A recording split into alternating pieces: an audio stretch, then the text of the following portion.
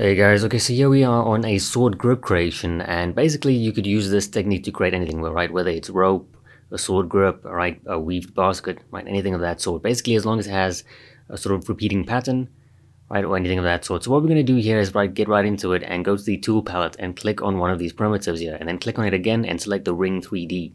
It can be any one of these, right, the cylinder here, right, you can click on the ring 3D again, and you'll see the ring will pop up. Okay, so primitive, click on it again and select the ring. Then you can go down to initialize. And let me just select my sword here quickly, right? So basically whatever you're using to create this, so in my case it's the sword, I'm to select the sword, I'm going to go back to my ring, I'm going to go to insert, and I'm going to select that sword. So just for scaling, so now I can see, oh, okay, this ring is obviously way too big, so I'm to have to sort that out over here under initialize. So let me just click on the on the ring first and initialize, here it is. Okay, you have all these options that you can work with. Okay, so I'm going to press Shift F so I can see what I'm doing. I'm gonna change the divide, the S divide, right? Down to about 8 maybe, right? This isn't too important, right? But this one, the L divide, I want to make sure that's on 24. That way it divides by 6 four times and 3 can also fit into it. So next I'm going to go to the radius, S radius, right? Just to change that and the thickness, right? Because I want to change that thickness here and then let's bring that down. I just want to scale that down with W. So bring up W, scale that down. I think this is pretty good. So let's maybe bring that radius down a little bit more. So I'm going to undo that go to S radius of maybe 10. K10 should be good enough. Okay, I can bring up the gizmo and then scale this down. So W and then scale that down. Okay, just so it fits the sword. In my case, it's a sword. In your case, it could be something else. But for now, we're just going to try and make this samurai sword grip here. So I'm just going to duplicate that and rename that to rope sword. Okay, always keep a duplicate just in case, right? And I'm just going to scale this one down just so it kind of hugs the sword here. Okay, that's good enough. Next I'm going to bring up the gizmo, hold on control, click and drag, and then just where I've got the position, I'm going to let go of control and then continue dragging three more times. So it creates three more duplicates. Okay, I'm going to clear that with control, click and drag. And then I'm going to duplicate this whole thing, right, with control, shift D. And then I'm just going to move this down. Okay, just move that down. I'm going to go to the original one, right, rope sword.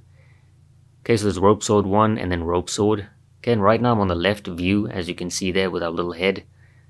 Okay, that shows what direction I'm facing and what I'm doing. I'm to press Shift F and go to the back here and then press Control Shift click and drag. And I'm to just basically get half of this, right? You can press Control Shift S and X to grow or shrink a selection. I'm to go to Delete Hidden. Delete Hidden is under Geometry, Modify Topology, and then Delete Hidden. That's where that is.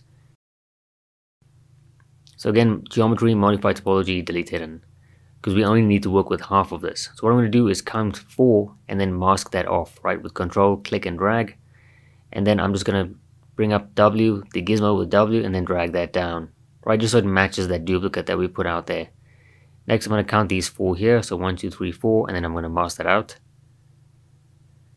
Right, I'm just going to mask these points here, basically, so I can just move them down, just to create a little bit of a tapered look there, just to kind of cascade these down a little bit. Okay, so Control Alt, click and drag. And yeah, I'm just isolating it right into solo mode, just so I can get a better view here. Right, and just move things. Doesn't have to be perfect, by the way, as long as there's a smooth transition. Okay, can go back to that rope sword and then duplicate that again.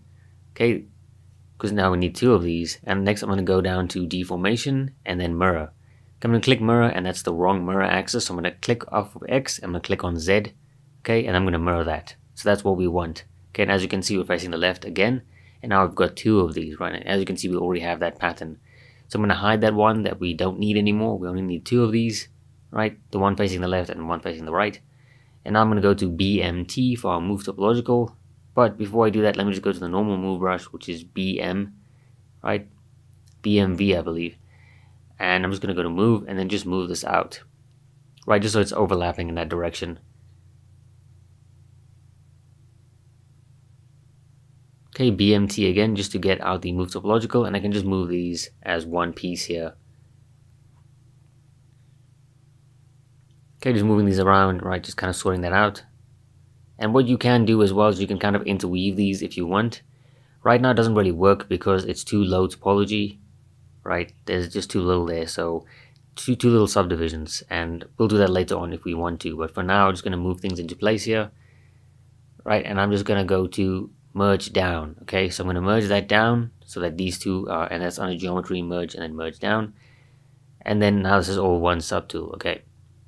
Make sure you're on the subtool above, by the way, before you merge down, just in case. So under geometry, modify topology, we've got mirror and weld. Okay, it works just like mirror, but it mirrors and it welds at the same time.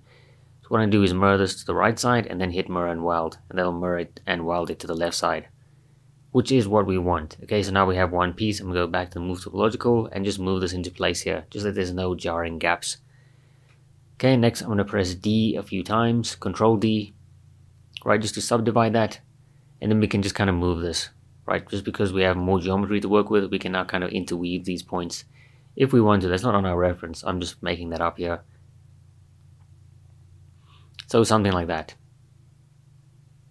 Okay, what I can do next is bring out the gizmo, right, with W, and then I'm just going to delete lower, which is on the geometry, delete lower, because we don't need those.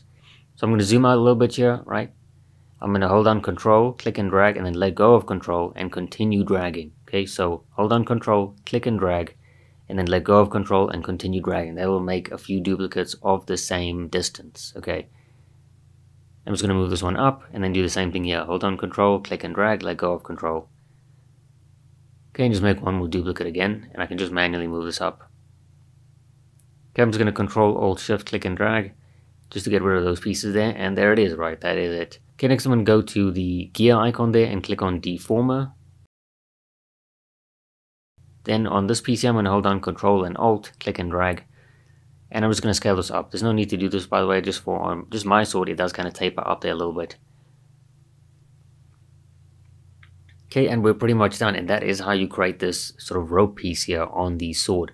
Now, of course, like I said, this works with baskets, right? Different weave patterns, different ropes. And I'm also going to go there and accept that again.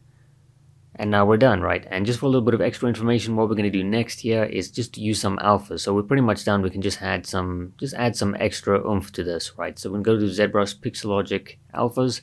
We're going to go down to Textures, right? And then just select any one of these textures here. This one looks pretty good because it's tileable.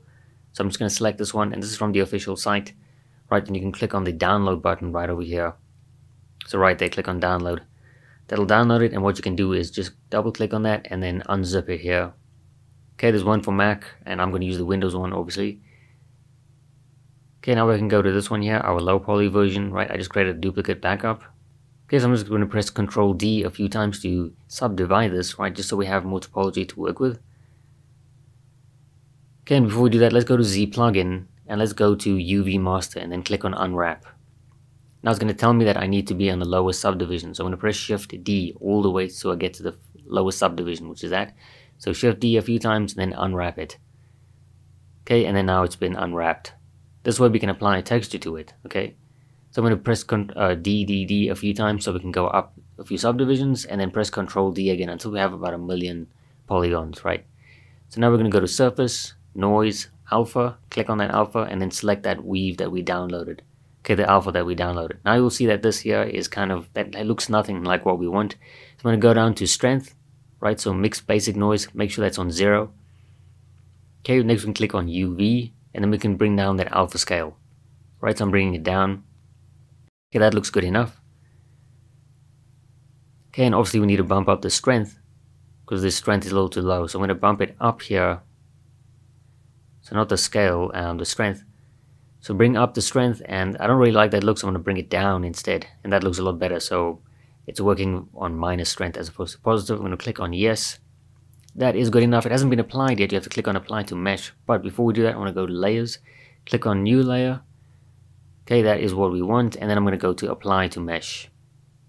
Okay, this will now apply to the mesh. And the reason why it looks so low like this is because we only have a million polygons, right? If you had about three or four million, it will look a lot sharper.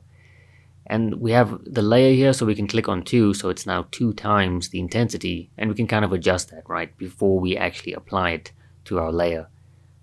And notice there's some jank here, but that's okay, that's just because the way we unwrapped it. But that is good enough for the demonstration purposes.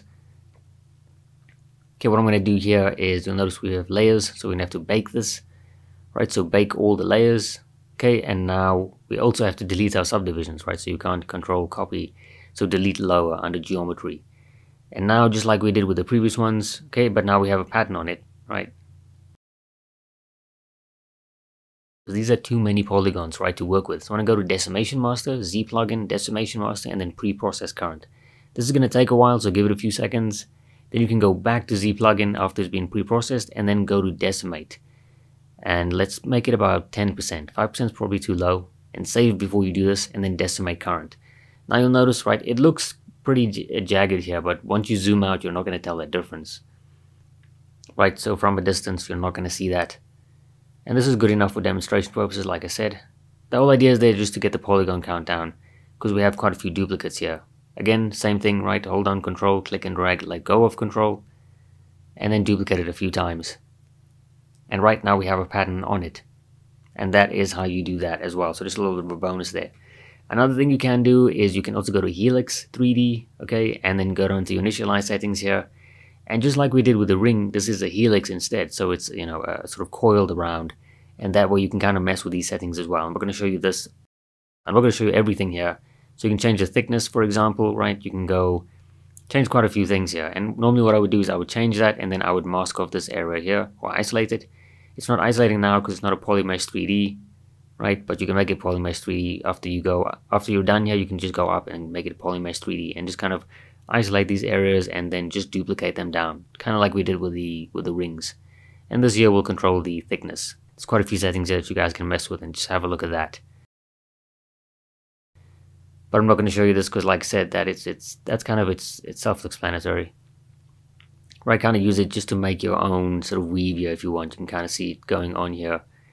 Okay, but that is pretty much it for this one, right? That's what we've done, that's what we've created, and as you can see, pretty versatile. As long as you kind of know how things work and you're okay with your division, you should be good to go, okay? And that's just, and another thing I can also do here is just go to back to the move topological and maybe add some variation here, right? So it's not so perfect looking, right? Just a few pieces here and there. But that is pretty much it, right? Uh, you can kind of have a little bit more fun with this and just take it to another level. Okay, and if at any point you guys are a little bit confused on any of the concepts that I covered, I do have quite a few videos on morphing and masking and layers as well, so I did leave a few links in the description, and I also left cards on the actual video at those parts, so you guys can definitely check those out. And yeah, like I said, that is pretty much it. Like it if you liked it, dislike it if you didn't. Let me know what you guys thought about it in the comment section, and I will see you guys in the next one.